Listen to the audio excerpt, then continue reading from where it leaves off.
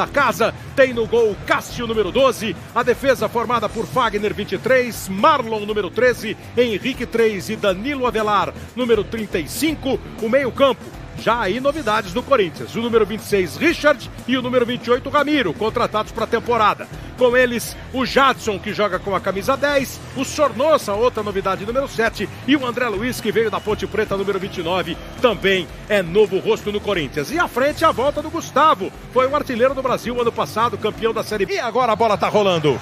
Bola em jogo para você ligado na Globo. Começou a temporada do futebol profissional. Bem passada, Wagner no domínio.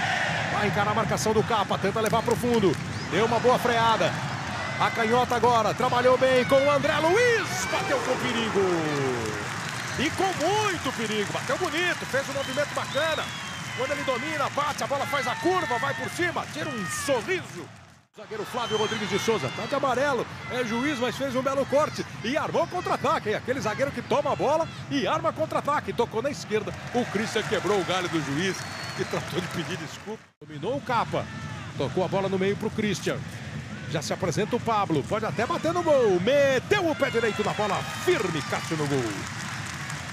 Feito pelo Richard, voltou pro capa, pode até arrumar para bater no gol. O juiz está dando pênalti. O juiz apontou a marca de pênalti. A jogada é daquelas em uma posição muito difícil do campo. No... Atenção para o torcedor do Corinthians. Partiu o Rafael. Mandou o pé direito na bola. Luteando muito lá pela direita. O São Caetano acabou não dando certo. Kleber, o Rafael Marques nunca teve prestígio assim de jogador de primeira linha, mas ele tem o dom de fazer gols mesmo. Né? Ele estava na China, voltou para o Botafogo. Pablo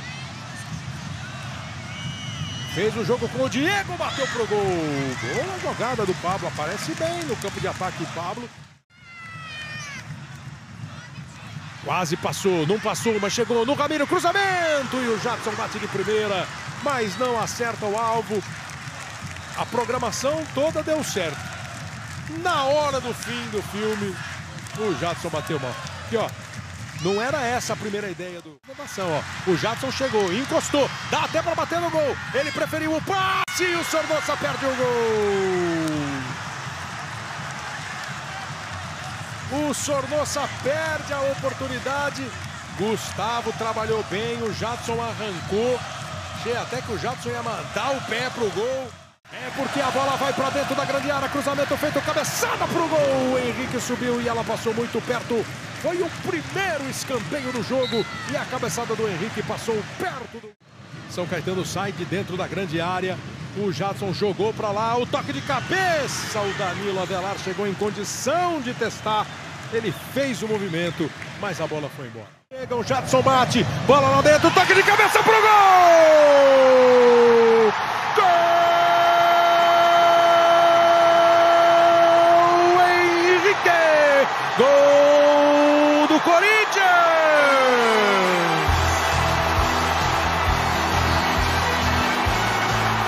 O juiz aponta o meio.